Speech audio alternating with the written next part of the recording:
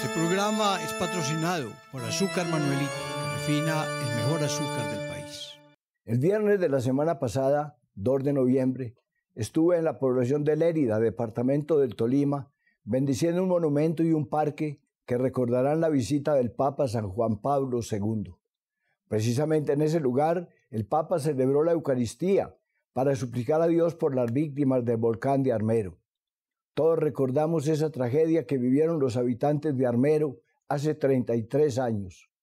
Por ellos estuvimos orando, a ellos los estuvimos recordando.